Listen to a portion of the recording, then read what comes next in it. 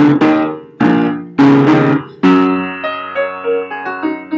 Johnny Devilicious with style that sets the girls all on fire. I know because those girls all turn their pretty heads to admire.